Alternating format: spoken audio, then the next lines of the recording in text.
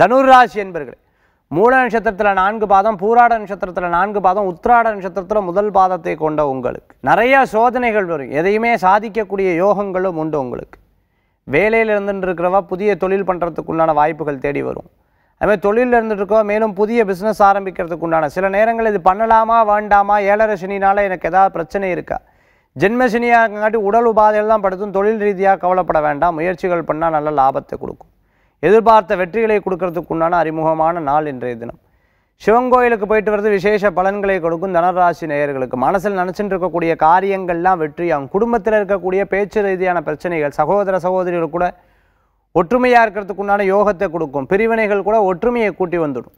இன்றைய தினத்தில் வீடு இடம் பொருள் வாகனங்கள் விற்கணும்னு நினச்சிட்டு இருக்கவளுக்கு வித்து தந்துடும் கவலைப்பட வேண்டாம். எதிர்பார்த்த பணவரவுகள் உண்டு. தனுராசி என்பவர்களுக்கு அதிர்ஷ்டம் தரக்கூடிய அற்புதமான என் இரண்டு நிற வெண்மை வழிபாட்டுக்குண்டான தெய்வம்.